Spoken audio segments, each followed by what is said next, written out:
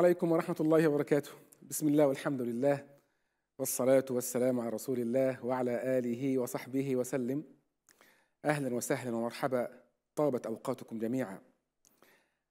من رحمة الله عز وجل بأمة الإسلام أنه يرسل إليها من المصلحين من يجدد لها أمر دينها فيعيد العمل برسوم الدين الأصلية بعد أن ينفض غبار البدع والخرافات الذي ران على أصولها وعقائدها.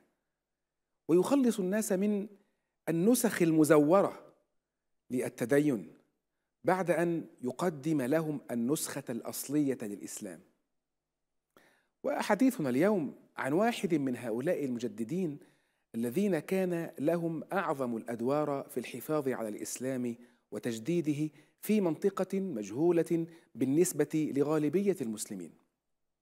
لذلك فأخبار هذا الرجل ومآثره وأعماله ظلت هي الأخرى مجهولة بالنسبة لهم. حديثنا اليوم عن الإمام المجدد عثمان ابن محمد فودي الفلاني الهوساني النيجيري أمير أمراء الغرب الإفريقي. الحديث عن دعوة الإمام عثمان ابن فودي وسيرته وجهاده يعني الحديث عن غرب إفريقيا المسلمة بكل ما تدل عليه هذه العبارة من معاني. ففي الوقت الذي يعتبر فيه كثير من الكتاب والمؤرخين القرن التاسع عشر عصر انحطاط هذه العبارة إن صحت تاريخيا على قلب العالم الإسلامي وأطرافه الشرقية والجنوبية والشمالية إلا أنها لا تنطبق على غرب إفريقيا. هذا القطر من العالم قد شهد في أوقات متعددة قيام عدة ممالك حكمت شعوبها باسم الإسلام وأقامت نظم حكمها على أسسه ومبادئه وتعاليمه. من بين هذه الممالك مملكة سقط الإسلامية في القرن التاسع عشر الميلادي. فيعتبر تاريخ الدول الإسلامية والممالك التي قامت في قارة إفريقيا إذا ما استثنينا الشمال الأفريقي من ال من ال ال الأمور التي نعلمها يعتبر الممالك التي قامت هي من الأمور المجهولة تماما بالنسبة للمسلمين. فهم لا يعرفون عن مسلمي إفريقيا شيئا. مع العلم إن نسبة المسلمين في قارة إفريقيا هي الأعلى في قارات العالم. ستقف معجبا وربما منبهرا بالبطولات العظيمة التي قام بها أبطال إفريقيا العظام الذين تصدوا لأعنف وأشرس الحملات الوحشية التي قادها صليبي إسبانيا والبرتغال وفرنسا وأمريكا.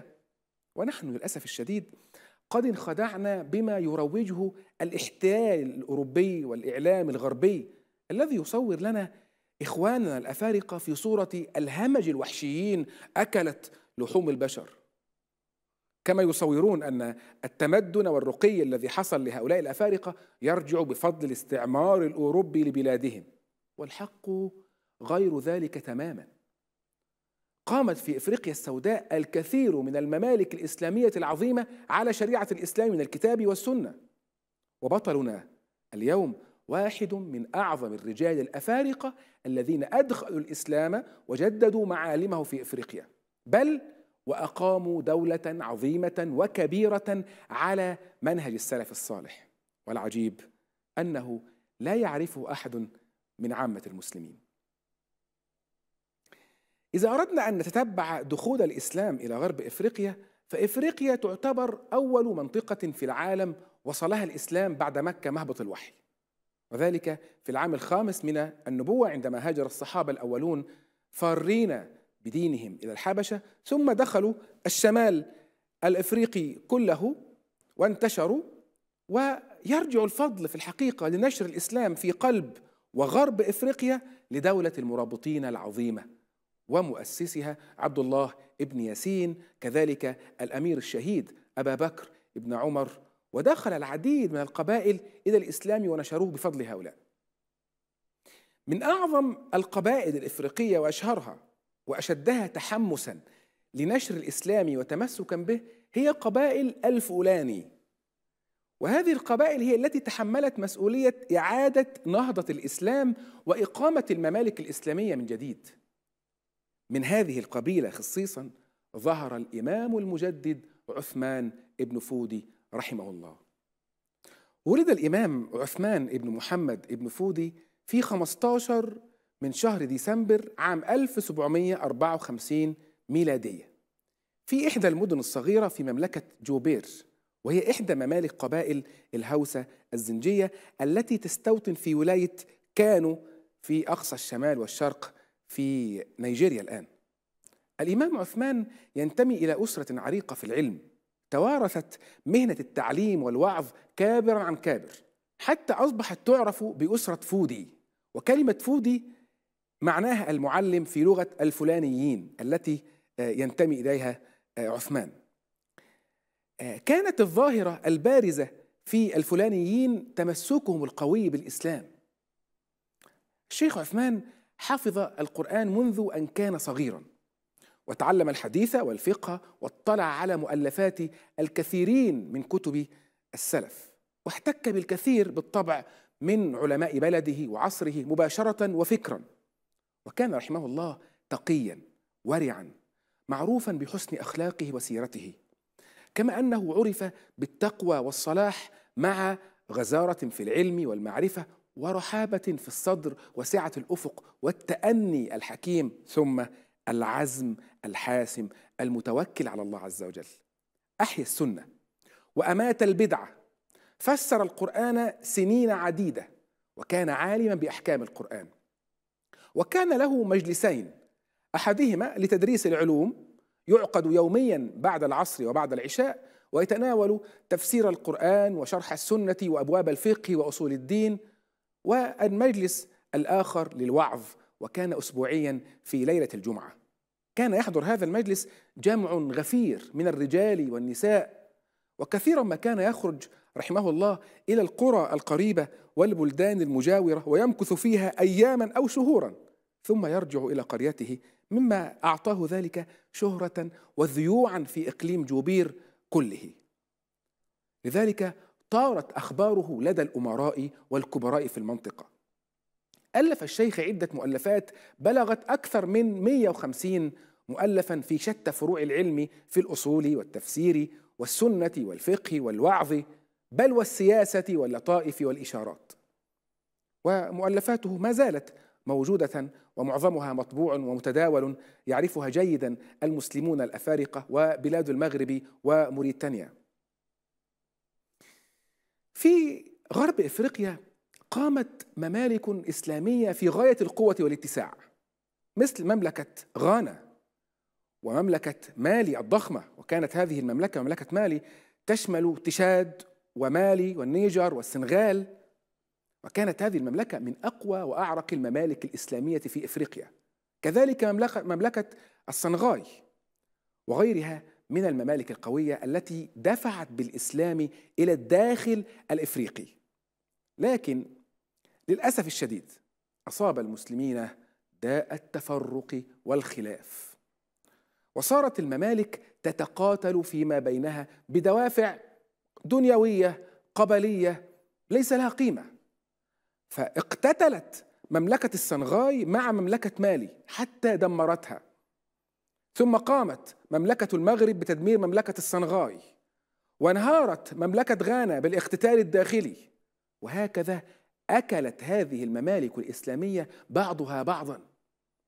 في الوقت نفسه الذي كان فيه أهل الكفر من الغرب والشرق يجمعون صفوفهم ويوحدون راياتهم استعدادا للانقضاض على العالم الإسلامي. في هذه المنطقة انتشرت بعض العادات الجاهلية والأفعال الشركية البعيدة عن أصل الإسلام. شهد عثمان بن فودي ما يسود مجتمعه من فساد ديني وخلقي وسياسي. ورغم أن بلاد الهوسة قد دخلها الإسلام في وقت مبكر وعمل بعض سلاطينها على تحكيم الإسلام في شؤون حياتهم السياسية والاجتماعية والاقتصادية إلا أنه مع مرور الزمن بدأ تيار وثني يصاحب حركة التحول الواسعة التي شهدتها البلاد إلى الإسلام عبر مراحلها المختلفة.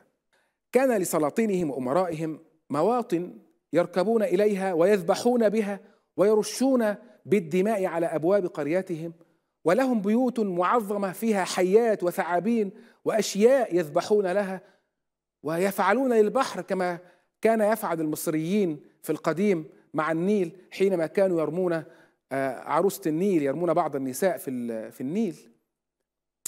ولهم في ذلك أعياد يجتمعون فيها ويسمون ذلك عادة البلد. ويزعمون أن ذلك صدقات ليستعينوا بها على جلب المصالح أو درء المفاسد. وإذا لم تفعل هذه العادات بطلت معايشهم وقلت أرزاقهم وضعفت شوكتهم هذا الجهل توارثوه جيلا بعد جيل وتوارثوا هذه العادات كابرا عن كابر. فأخذ عثمان في دعوة أهله وإخوانه إلى محاربة البدع والوثنية فاستجاب لدعوته كثير من أبناء بلدته. فأسس حركة دعوية وأطلق عليها اسم الجماعة. أخذت دعوته وحركتها المسماة بالجماعة تنتشر بين القبائل الإفريقية. ودخل فيها أفراد من عدة إمارات ومن شعوب عدة منها الهوسة والطوارق والكانوري والزنوج إضافة إلى قبيلته الأصلية الفلاني التي كانت أكثر القبائل انضماما لدعوته وحركته. ثم حققت دعوة عثمان بن فودي نجاحا كبيرا في نشر الإسلام بين القبائل الوثنية المنتشرة في شمال وجنوب نيجيريا. ويوما بعد يوم ازدادت جماعته قوة واتساعا.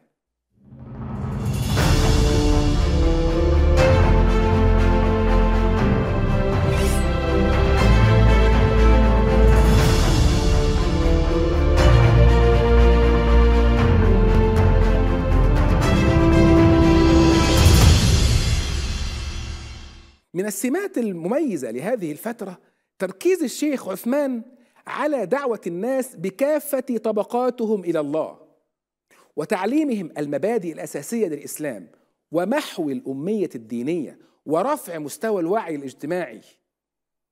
وجاء في سياق هذه المرحلة أن الشيخ عثمان بن فودي طالب حاكم جوبير وكان هذا الحاكم وثنيا طالبه في أول لقاء معه بعد صلاة عيد الأضحى في الفترة سنة 1889 ميلادية طالبه بعدة أمور.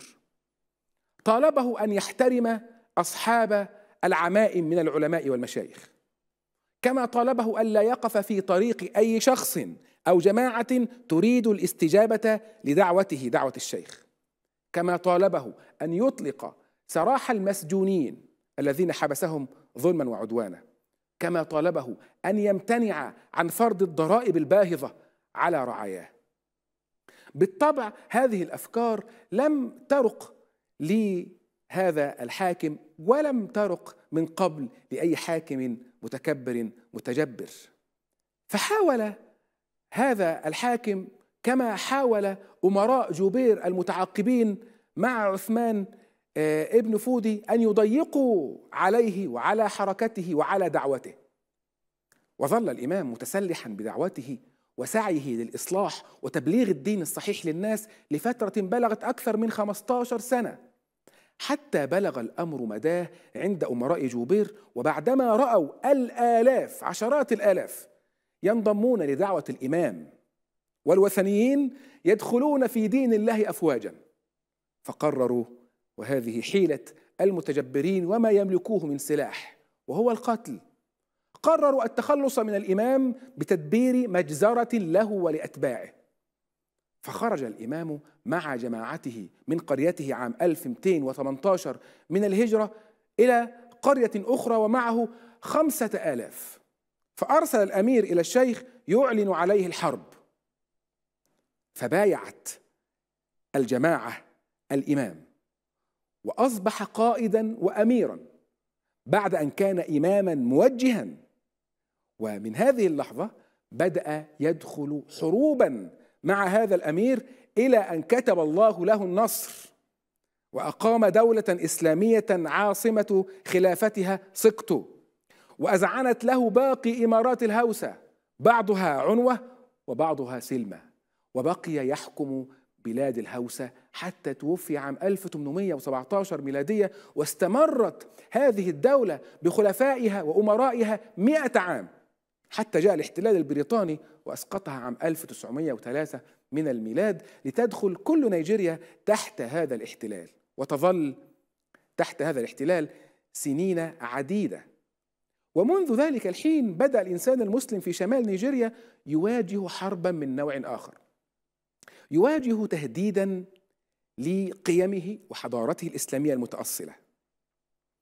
عثمان بن فودي لم يكن من الرجال الذين يبحثون عن زعامة أو إمارة بمجرد حصوله عليها يكف عن سعيه وجهاده ويجلس متنعما بما حازه وما ناله من أملاك أو جاه أو غنائم بل كان يبغي نصرة الإسلام ونشر هذا الدين بين القبائل الوثنية يبغي الدعوة لهذا الدين في شتى أرجاء القارة السمراء لذلك قرر عثمان بن فودي العمل على إعادة بناء الدولة الإسلامية من جديد وتوسيع رقعة الإسلام بالجهاد ضد القبائل الوثنية التي اجتمعت على حرب الإسلام ودعوته الجديدة.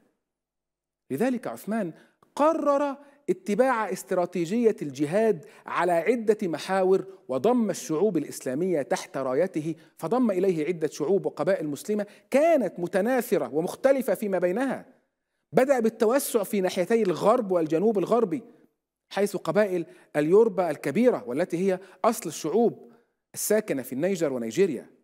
فدانت له هذه القبائل ودخلت في دعوته وأخذت الدولة الإسلامية في الاتساع شيئا فشيئا حتى أصبحت أقوى مملكة إسلامية في إفريقيا وقتها.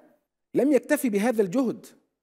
الناس في بلاد الهوسة كانوا يذهبون للدراسة إلى المراكز العلمية في بلاد السودان الغربي وكذلك بلاد المغرب العربي. فلما ظهر الشيخ عثمان ابن فودي رجع الناس إليه في أمور دينهم وعلمهم وقصدوه من كل جهة وجانب. أيضا كان للشيخ جهود كبيرة في تعليم اللغة العربية وانتشارها. اللغة العربية بلغت في عهد الشيخ أوج ازدهارها ومجدها. في عهده أصبح الحرف العربي هو الحرف الذي يكتب به أشهر اللغات الإفريقية مثل الهوسة والفلانية والسواحلية وغيرها من اللغات. كذلك في عهد الشيخ عثمان وخلفائه أسهمت عملية التدوين في نقل العلوم والمعارف المختلفة وترجمتها من اللغة العربية إلى اللغات المحلية. علم الشيخ أنه لا بد من جهد آخر يبذل مع المرأة المسلمة.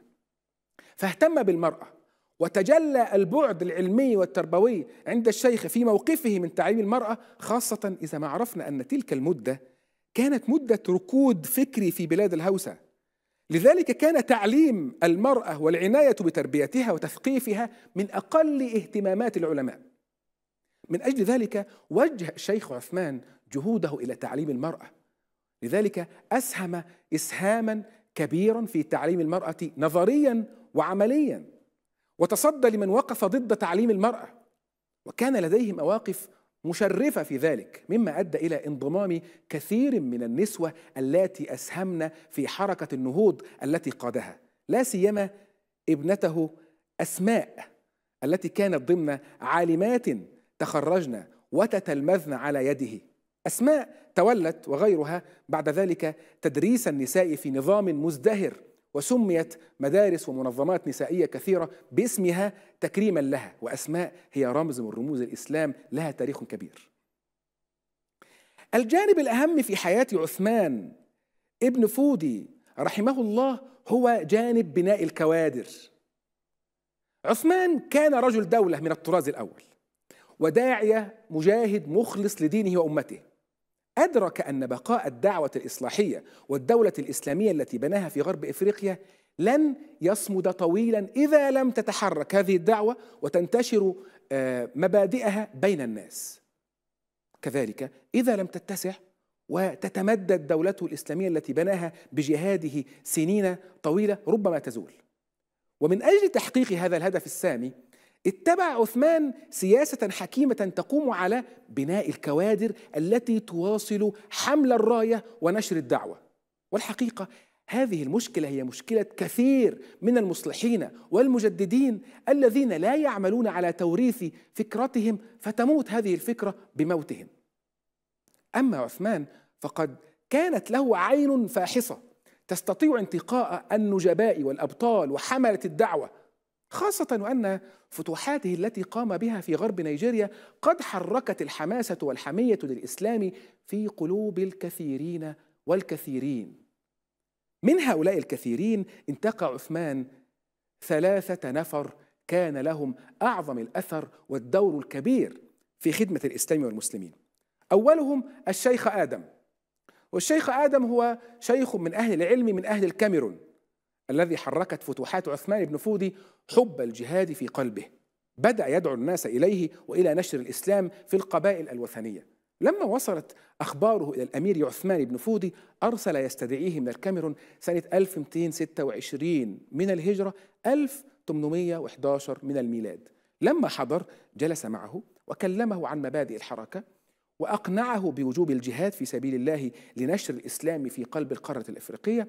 فلما انشرح صدر الشيخ آدم لهذه الفكرة أعطاه عثمان رايته البيضاء وهي رايته في الجهاد المشهورة وكلفه بمواصلة الجهاد حتى ينشر الإسلام فيما يلي نهر بنوي جنوبا. وهذا النهر هو فرع كبير من فروع نهر النيجر العظيم. قام الشيخ آدم بالمهمة على أكمل وجه حتى أدخل بلاد الكاميرون كلها في الإسلام وكافأه الأمير عثمان بأن جعله أميرا على الكاميرون وظلت الإمارة فيهم حتى احتلال الإنجليز للكاميرون سنة 1901 من الميلاد. أما الرجل الثاني فكان أحد جنود عثمان بن فودي واسمه حماد باري وقد اشترك في معركة الجهاد الأول ضد أمراء جوبير الوثنيين وبتواصل الجهاد بانت نجابته وظهرت شجاعته وإخلاصه لنشر الدين فكلفه عثمان بفتح بلاد المسانيه الواقعة في مالي الآن ونجح حماد في مهمته خير نجاح وكفاه عثمان بأن أعطاه لقب الشيخ وجعله اميرا على منطقة المسانيه. أما الرجل الثالث فكان الحج عمر وكان في أوائل شبابه والإمام عثمان بن فودي كان في أواخر حياته لكن هذا الشاب قدر له أن يجتمع مع الإمام وذلك أن الحج عمر كان محبا للدعوة والجهاد فلما اشتد عوده قرر الرحيل إلى بلد الإمام عثمان ليراه ويسمع منه وبالفعل ذهب إليه وتفرس فيه النجابة والفطنة فنصحه بأن يذهب إلى حماد ويلتحق بخدمته لعله أن يكون خليفة حماد بعد رحيله في قيادة المملكة الإسلامية وبالفعل نجح الحاج عمر في أن يلتحق بخدمة حماد ويخلفه بعد رحيله وقاد القبائل الإسلامية قيادة عظيمة. وبالجملة نجح الإمام المجاهد عثمان بن فودي أعظم أمراء إفريقيا في بناء قاعدة عريضة من المجاهدين والقادة والأمراء الذين قادوا الأمة المسلمة في قلب إفريقيا وأقاموا أعظم الممالك الإسلامية في هذه البقعة الغامضة عن ذهن أبناء المسلمين الآن. كان له أثر كبير. انظروا في نيجيريا الآن. انظروا إلى أهل العلم وحفظة القرآن. انظروا إلى الحجاب. انظروا إلى حب أهل نيجيريا في الإسلام وإقبالهم عليه. كان كل ذلك بفضل الله ثم بفضل ذلك الرجل العظيم. توفي الإمام المجاهد الأمير عثمان بن فودي سنة 1233 من الهجرة 1818 من الميلاد بعد أن أعاد إلى الإسلام مجده وأبقى للإسلام دولة قوية ظاهرة صامدة أمام هجمات الأعداء حتى بعد وقوعها فريسة للاحتلال الصليبي بقيت القلوب حية مجاهدة تقاوم الأعداء وتحافظ على دينها وعزتها. فجزى الله عز وجل هذا الإمام على ما قدمه للإسلام في إفريقيا ورفع درجاته في عليين مع المهديين. جزاكم الله خيرا وبارك الله فيكم. والسلام عليكم ورحمة الله وبركاته.